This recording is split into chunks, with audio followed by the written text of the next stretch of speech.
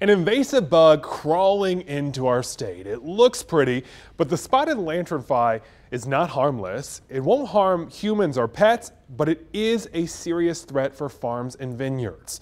WFMY News 2's Amber Lake shows you what all the buzz is about with this pesky little insect. It will end up being problematic in a lot of ways. These tiny little bugs. It could travel on vehicles, it could travel on, on really practically anything. Are a big problem. We're primarily concerned for what it will do to our agricultural crops. This is the spotted lanternfly, spotted in North Carolina for the first time in Kernersville last week. It's an invasive species, quickly spreading nationwide. They damage and feast on dozens of plants, including apples, roses, and grapes. And while they're doing that, they secrete a product called honeydew.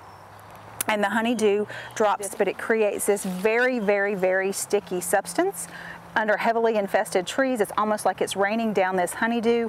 Uh, all of this becomes very sticky to attack stinging insects, and then afterwards, this sticky substance begins to grow sooty molds. This invasive pest also loves tree of heaven. They use it to eat and lay their eggs, but it should be called the tree of death for these little guys. The tree is actually their favorite meal, something the State Department of Agriculture takes advantage of. It's a spray that we put on the bark. It's called a basal spray, and then the tree actually takes it up and moves it through the entire system of the plant plant. And then when the spotted lanternfly feed on this invasive tree, it, it will kill them from feeding. Spotted lanternflies are easy to find on Tree of Heaven. They start as egg masses, then transform into these little guys. And the adults are much more, more mobile, and that is what you're seeing here on this Tree of Heaven. Um, you can see for a size reference, I won't get too close because they're plant hoppers. The NC Ag Department is out surveying and treating areas where they find these spotted lanternflies. They even brought in an egg sniffing dog to help out. I've always been interested in whatever I can do to help um, keep, keep the bad bugs out. Here's what to do if you spot the lanternfly snap a pic, report it online to the Ag Department, then you squash it.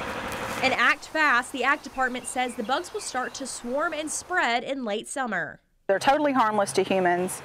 Uh, but again, highly invasive, spread very, very quickly. In Kernersville, Amber Lake, WFMY News 2. I don't know what's better, the tree of death or that cute dog that smells them out. Since these bugs love grapes, we did reach out to some local vineyards. So far, they have not reported any sightings.